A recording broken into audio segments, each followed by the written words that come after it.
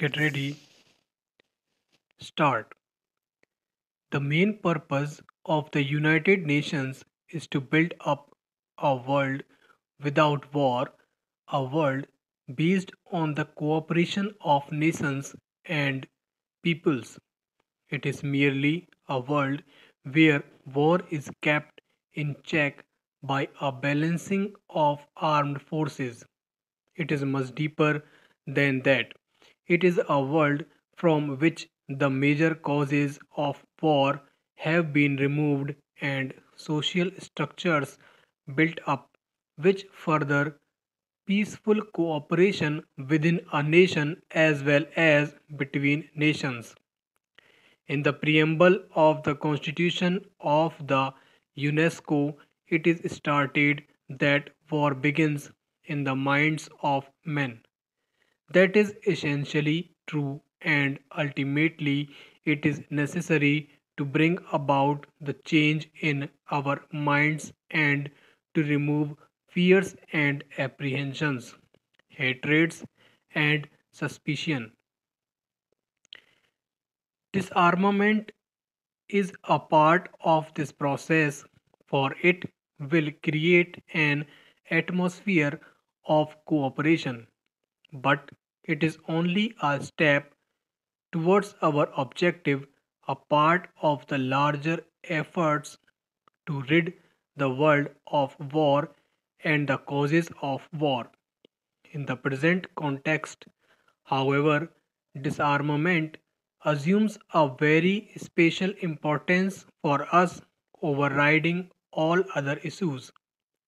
For many years past, there have been talks on disarmament, and some progress has undoubtedly been made in so far as the plans and proposals are concerned.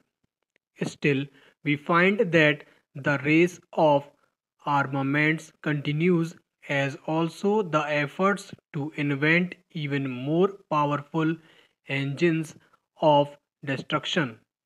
If even a small part of these efforts was directed to the search for peace, probably the problem of disarmament would have been solved by this time. Apart from the moral imperative of peace, every particle consideration leads us to that conclusion. For, as everyone knows, the choice today in this nuclear age is one of utter annihilation and destruction of civilization or of some way to have peaceful coexistence between nations. There is no middle way. If war is an abomination and an ultimate crime which has to be avoided, we must fashion our minds and policies accordingly. There may be risks, but the greatest risk is to allow the present dangerous drift to continue. In order to achieve peace, we have to develop a climate of peace and tolerance and to avoid speech and action which tend to increase fear and hatred and at the present it may not be possible to reach full disarmament in one step though every step would be conditioned to that end we live in an age of great revolutionary changes brought about by the advance of science and technology. There is in lies the hope for the world and also the danger of sudden death.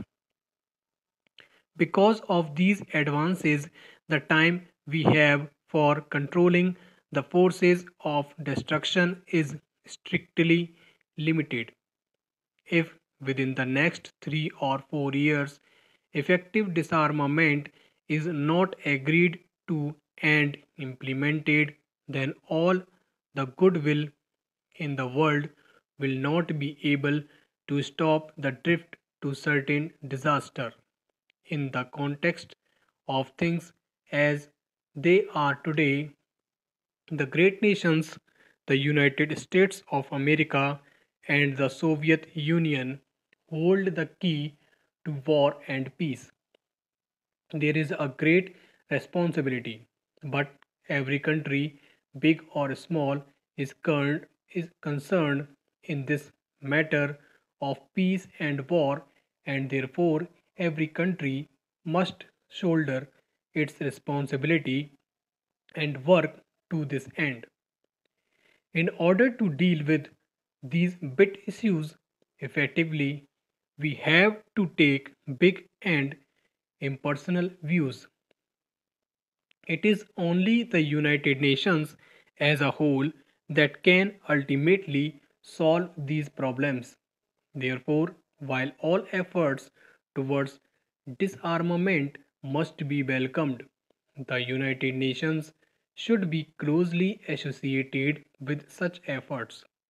The question of disarmament has been considered at various levels. There is the question of general disarmament and of the ending of test explosions of nuclear and thermonuclear weapons.